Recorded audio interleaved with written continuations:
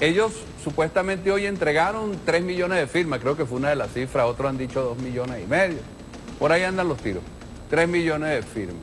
Se abre entonces, cuando yo la entrega, un proceso de verificación. ¿En qué consiste más o menos, hasta donde entiendo yo la cosa? Primero, una transcripción de todas esas firmas, nombres, cédulas, etc. Proceso de transcripción, ponle tú 3 millones de firmas, ¿ok?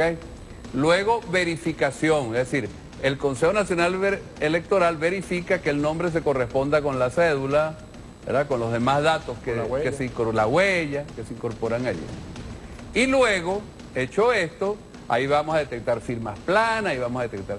Viene un proceso de ratificación de la firma que lo convoca, una vez hecho eso, el propio Consejo Nacional Electoral que pone la infraestructura, dónde se va a hacer la verificación, con qué instrumento, porque eso implica ir con la huella, ¿verdad? la fotografía, en fin, todo eso que debe darse en ese caso. Que el que, firmó no debería tener miedo. No debería tener miedo porque precisamente se trata de eso, es una manifestación de voluntad, es un Estado y un, y un proceso profundamente democrático como el que vivimos nosotros los venezolanos y las venezolanas en este momento.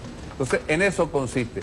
Si ellos en ese lapso, en, ese, eh, en esa instancia de verificación que tiene todos esos pasos, eh, cumplen el 1% del registro electoral, tal como establece la ley, entonces, bueno, se activará el proceso electoral y comienza entonces otro proceso de recolección de firmas que también está regulado por la Constitución y por la ley, que es el 20%, etcétera, del registro electoral permanente. Entonces, de eso se trata, esos son los procesos tal cual están contenidos en la Constitución y en las leyes y en las resoluciones del propio Consejo Nacional Electoral del año 2007 que ya yo señalé en un segmento anterior.